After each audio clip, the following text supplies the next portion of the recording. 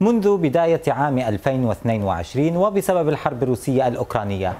بدأت الأسعار في الارتفاع وبدأ التضخم بالتحليق وبدأت البنوك المركزية والفيدرالي الأمريكي بخفض أسعار برفع عفوا أسعار الفائدة ليسحب الأموال من الأسواق عن طريق تشجيع الإيداع والحد من الإقراض. فبالتالي ينخفض الإنفاق فينخفض الطلب ويتنخفض الأسعار. والفيدرالي الأمريكي رفع أسعار الفائدة منذ مارس عام 2022 قرابة العشرة مرات متتالية بمجموع 5% التضخم في أمريكا. في أبريل انخفض بأفضل من التوقعات بنسبة 4.9% بينما أشارت التوقعات إلى بقائه ثابتة عند مستويات الخمسة في المئة. لكن على أساس شهري ارتفع التضخم في أمريكا بنسبة 0.4% كما كان متوقعا من مستويات 0.1 في المئة.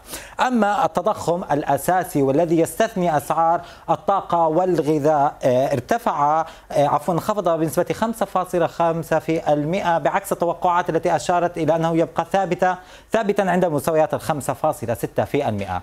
التوقعات حيال سياسة الفيدرالي الأمريكي برفع أسعار الفائدة أو خفضها.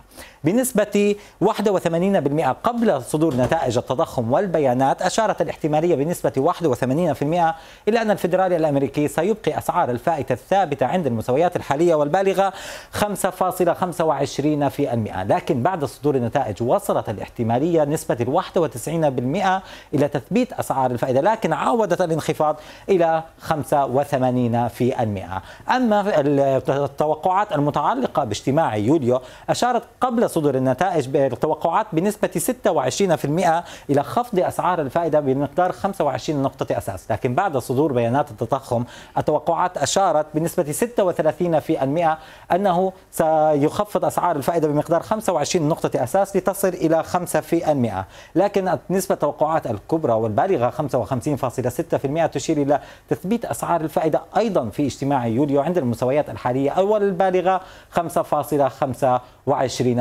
لكن الفيدرالي الأمريكي يتوقع بأنه سيبقي أسعار الفائدة أو سيبدأ بخفض أسعار الفائدة في بداية يناير آه، في عام 2024